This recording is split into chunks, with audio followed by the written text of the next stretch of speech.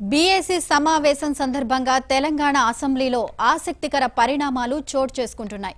Assembly ప్రాంగణానికి Revanth Reddy వచ్చారు. అక్కడ ఆయనకు కాంగ్రెస్ నేతలు ఎదురుపడ్డారు. రేవంత్ను షబ్బీర్ అలీ ఆలింగనం చేసుకున్నారు. పొంగులేటి షేక్ హ్యాండ్ ఇవ్వగా ఎమ్మెల్యే సంపత్ తదితర నేతలు ఆహ్వానం పలికారు. ఇక రేవంత్ రెడ్డి అసెంబ్లీకి వచ్చినా బీఏసీ సమావేశానికి హాజరు కాలేదు. మరోవైపు టీడీఎల్పీ ఆఫీసులో కూడా తన సీట్లో కాకుండా పక్క సీట్లో కూర్చోవడం చర్చనీయాంశంగా మారింది.